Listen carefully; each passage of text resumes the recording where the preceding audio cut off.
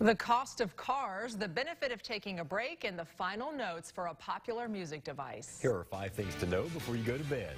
Americans are battling something other than inflation when they shop, higher card swipe fees passed on to them from merchants. According to the National Retail Federation, merchants were charged nearly 138 billion in credit card swipe fees in 2021. That means the average American family is paying an extra $900 yearly on items because of those higher swiping fees. Used car prices dropped again in April, but at a much slower pace than March. The shortage of new cars and overall inflation has driven prices to record highs in recent months. But automakers are starting to see improvements in parts, supplies, and production.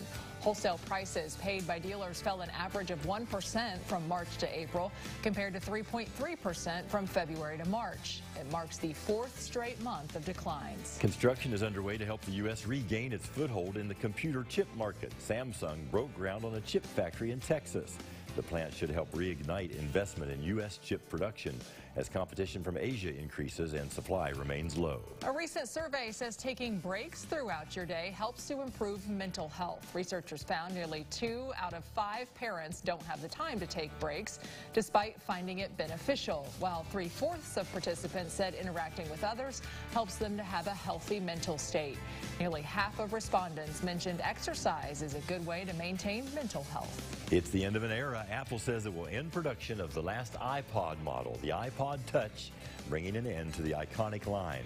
The company says Apple customers will still be able to buy an iPod Touch while supplies last, and they can still listen to music on a host of other Apple products, such as the iPhone, iPad, and Apple Watch.